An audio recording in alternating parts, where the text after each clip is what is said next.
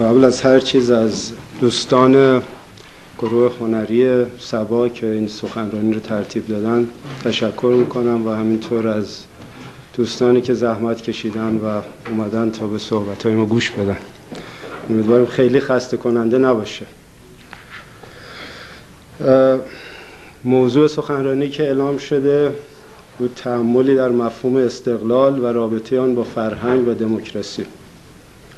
البته قبل از شروع صحبت بگم که این بحث با اینکه دارای جهتگیری و به هر حال بازتاب و نتایج سیاسی هست ولی اساسا یک بحث فرهنگیه.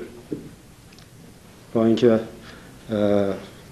اجزایش مثل استقلال و دموکراسی مفاهیم سیاسی و سیاسی هستن عمدتا ولی بحثی فرهنگیه به این معنا که خارج از به اصطلاح موزگیری ها یا بحث های مقطعی سیاسی مطرح میشه. اگرچه به همینطور که خواهیم دید به به اصطلاح مطرح ترین مسائل سیاسی روز از جمله مسائلی که وجود داره به عنوان بحران خلیج و جنگ و غیره و اینا خواه ناخواه پرداخته خواهد شد توش و یا دامن خواهد زد به این بحث. منتها بیشتر یک برخورد نظری فرهنگی هست به مسئله استقلال با حرکت از وقایع و پدیده های موجود بنابراین با اجازه دوستان شروع می‌کنم. ما در دوران یک بازندیشی همه جانبه به سر می‌بریم. که تمامی مفاهیم و مقولات اجتماعی و سیاسی و فرهنگی را در بر می‌گیرد.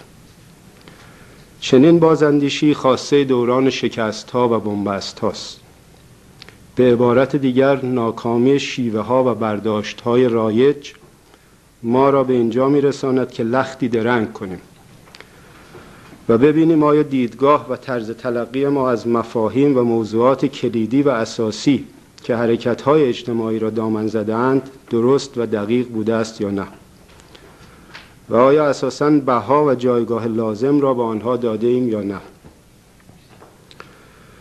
وقایع و پدیده های مهمی نیست که دور از انتظار و خارج از چارچوب پیشداوری ها و تحلیل ها و تصورات ما اتفاق افتاده و میافتند زمین ساز این بازندیشی هست یعنی توضیح بدم یعنی به هر حال ما همیشه بر اساس خطوط و برداشتا و به اصطلاح چارچوبایی که داریم یک سری پیش بینی های یک سری تحلیل ها می‌کنیم و در عمل اینها با شکست روبرو میشه. و خود این به هر حال زمین ساز این هست که بازندیشی کنیم ببینیم چه اشکالی در اینها بوده یا چه نقصی.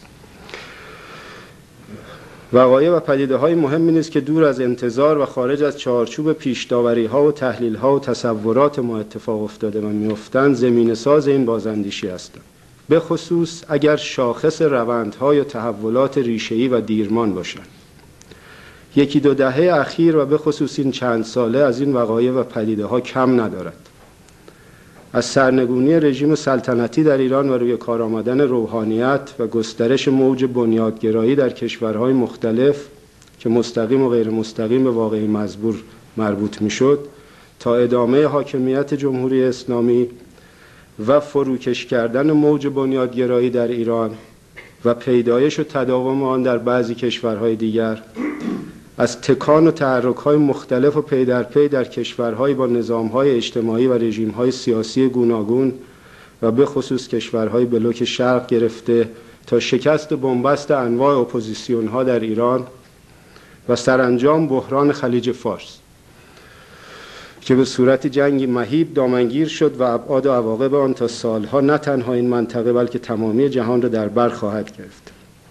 در چنین شرایطی دیگر نمی‌توان همچنان به باورها، تحلیلها و شیوه های گذشته پایبند ماند و بازندیشی در آنها را جایز نشمرد. چنین بازندیشی نه یک فرصت طلبی و دنبال روی از جو زمانه و شرایط جهانی بلکه یک تأمل و درنگ به خاطر خودمان و آیندهمان است. تأمل و درنگی که تا حدی هم دیر شده است. و اگر بیش از این به تأخیر افتد ما نیز بیش از این دنبال رو حوادث خواهیم شد. کما اینکه راجع به بسیاری از آنچه در این چند سال اتفاق افتاد و نیز درباره آنچه در اعماق و در طالع پدیده ها و روندها موجود بود خیلی ها هشدار دادند و پیش بینی کردند. ولی مؤثر واقع نگردید. مثلا نمونه کشورهای اروپای شرقی را در نظر بگیریم از سالها پیش بودند.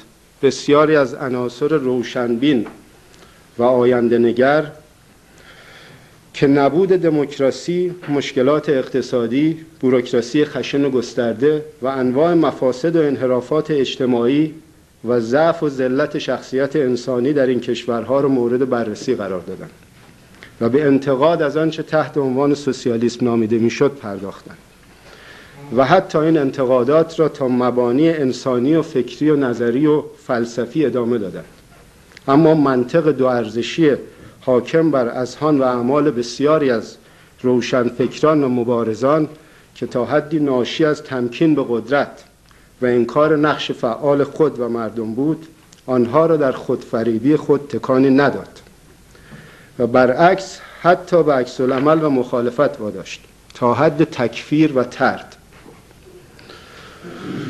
این منطق دو ارزشی گذشته از آنکه برخواسته از تبلیغات قدرت ها و کشمکش های واقعی و چشمگیر جهانی بود از محدودیت های ذهنی و راحت طلبی های فکری نیز ناشی می شد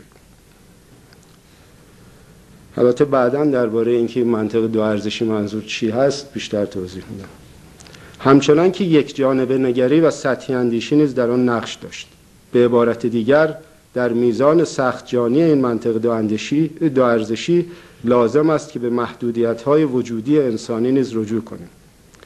بنابراین زمانی که به بازاندیشی می‌پردازیم نه فقط این یا آن شیوه مبارزه این یا آن تحلیل سیاسی و حتی این یا آن خط فکری و مکتب عقیدتی بلکه نوعی از زیستن بودن اندیشیدن و عمل کردن است که در یک عرصه پهناور هدف بازاندیشی قرار می‌گیرد. آن نوع از زیستن بودن اندیشیدن و عمل کردن که سنگینی و اهمیت مسئولیت و تلاش را به جای درون به بیرون به جای خود به دیگری به جای محتوا به فرم به جای روح و جوهر به شیوه, شیوه و چارچوب و مکانیسم به جای عمق به سطح و به جای پایین به بالا منتقل می کند و نسبت می دهد آنکه در جستجوی راه حل های سهل الوصول تحولات فوری و سریع هیاهوهای مقطعی و هیاهوهای مقطعی است. آنکه به قدرت تبلیغات ملاحظات تشریفات و چیزهای از این قبیل بهای بیش از حد ضروری می‌دهد و انسانها را در نهایت همچون مهرهای تابع همین پدیده ها می‌خواهد. و متاسفانه از این لحاظ غالبا راست و چپ. انقلابی و ارتجایی رژیم و اپوزیسیون به یک گونه عمل کردند. چون در مجموع از یک سیستم ارزشی تبعیت نمودند و نیز چون خود این مفاهیم و مقولات در زمانی که نیازمند بازاندیشی و تعریف مجدد بودند با همان برداشتها و طرز تلقی های سابق به کار رفتند. راست و چپ معمولا تنها و تنها با ارجاع به یک بعد محدود و آن هم کلی بافانه تحت عنوان عدالت اجتماعی ارزیابی و تقسیم بندی شده است. و زمانی هم که قرار بوده مشخصتر و ملموستر شود این یا آن قطب قدرت جهانی این یا آن ایدئولوژی یا نظرگاه فلسفی, فلسفی نقش مرجع چون و چرا ناپذیر پیدا می کرده است. هر رژیمی که بر سر کار بوده است نه تنها ارتجایی و عامل و مظهر تمام پلیدی ها تلقی می شده بلکه مردم و روابط و ارزش های حاکم بر آنها و میان آنها معصوم و مبرا از خطا. و مهمتر از آن هر نیروی مخالف با آن به خصوص اگر به شیوه ها و شعارهای رادیکال توسل می جسته انقلابی و فرشته خو و مظهر تمامی جنبه های مثبت به شمار می آمد است. که نه تنها امروز از خطا مبراست بلکه در آینده هم که به قدرت برسد حتما به گونه کاملا متفاوت از نیروهای ارتجاعی و رژیم حاکم عمل می نماید و چون هدف چنین جایگزینی انتقال قدرت به هر قیمت بوده است در این میان هر وسیله و شیوه موجه و مقبول شمرده می شده است. بیان که این یا آن نیرو حتی اندکی به خود زحمت تعمل در خود مفهوم و ماهیت قدرت و مبانی و زمینه ها و عوامل سازنده آن بدهند. و مهمتر از آن بیان که برای مردم در تحول خود و در تحولات اجتماعی و سیاسی نقش چندانی قائل شوند. تمامی نظام اجتماعی به ماشین دولتی خلاصه می شده که انگار با در هم شکستن شدن آن معجزه ای رخ می دهد. و به سرعت یا در ظرف مدتی کوتاه بدی تبدیل به خوبی می شود.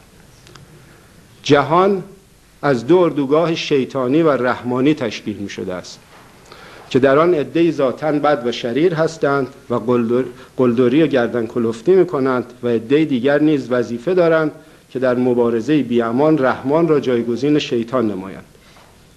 بیان که روشن شود در رسیدن آن شیطان به این مرحله بقیه عوامل و نیروها و از جمله خود مردم چه نقشی داشتند. و چگونه ممکن است بدون آغاز به تغییر و تحول در خود عوامل و نیروهای اجتماعی رحمان جدید خود تبدیل به شیطان دیگری نشود.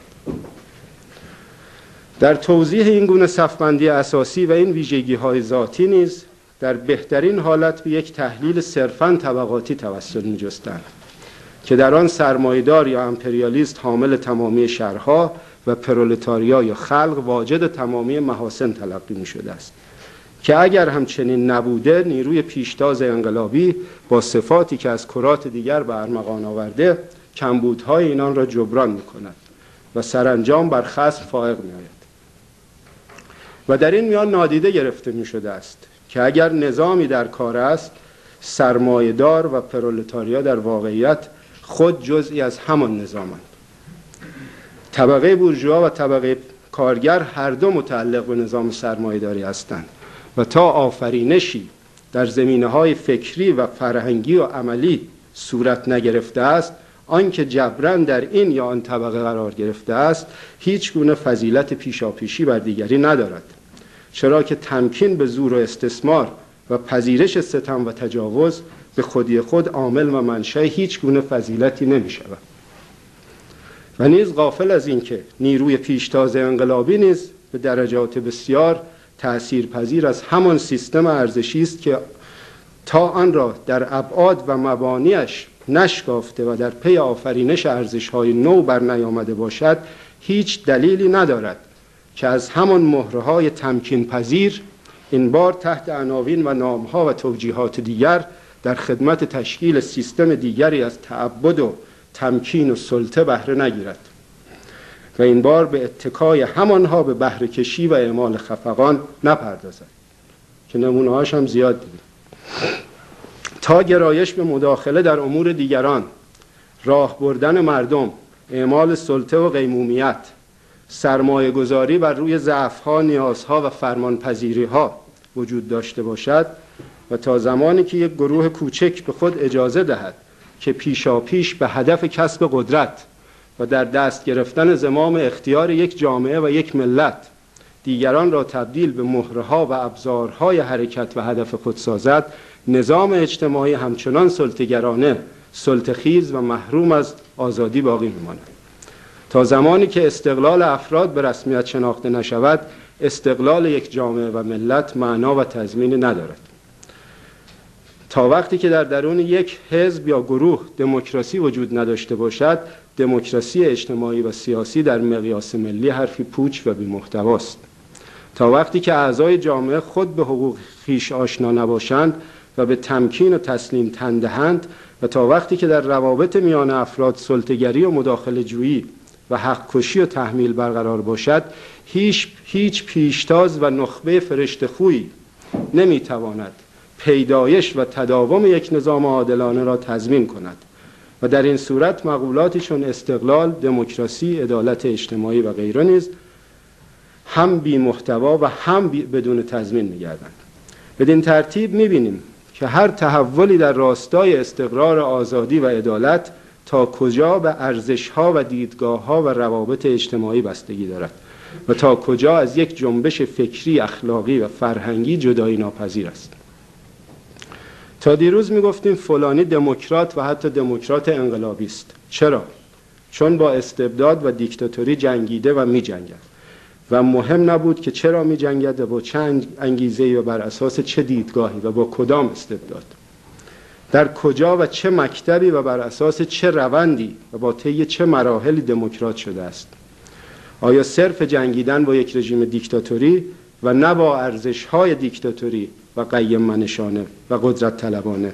می تواند یک فرد یا نیرو را دموکرات کند. پس از مدتی دیدیم که حتی همین واژه ها از هر گونه محتوای خالی شدند و حتی به رژیم های دیکتاتوری اطلاق گردیدن از جمله فرض کنیم بعضی ها بودن که رژیم جمهوری اسلامی رو دموکرات انقلابی میخوندن یا رژیم های اصطلاح خورد سرمایداری کشورهای عربی رو. می‌گفتیم فلانی استقلال طلب و ضد امپریالیست است. چرا؟ چون در برابر امپریالیسم ایستاده است و به منافع آن ضربه می‌زند. مثلا موی از تن او می‌کند یا چند سربازش رو می‌کشد. دیگر کاری به این نداشتیم که از چه موضع و با چه ماهیتی با امپریالیسم میجنگد. آیا صرف دل و جرأت و شهامت و زبان آوری است که او را ضد امپریالیست می‌کند؟ آیا استقلال طلبی او بر کدام بنیه و تکیهگاه ملی تکیهگاه خلاق ملی و مردمی استوار است. آیا شیوه هایی که به کار می‌برد در صورت, صورت پیروزی او را نیز تبدیل به امپریالیست یا سلطگر دیگری نمی کند و در صورت شکست به تقویت و تداوم سلطه امپریالیستی نمی انجامد می گفتیم فلانی ضد سرمایداری و استثمار است. بیان که توجه داشته باشیم که هر گونه ضدیتی با سرمایه‌داران و استثمارگران لزوما از موضع آگاهانه نفی استثمار نیست. در همه این موارد آنچه اهمیت داشت زواهر و روابط بود نه ماهیت غذایا یک نیرو با ضد ظاهری خود معنا و اعتبار میافت و آن ضد ظاهری نیز به شیوه مکانیکی و یک بودی پیشاپیش به صورت شیطان و مظهر شر مطلق در آمده بود. و طبیعی است که در اینجا ایدئولوژی های موجود نیز نقش مطلق سازی و مبالغ پردازی را بر عهده داشتند.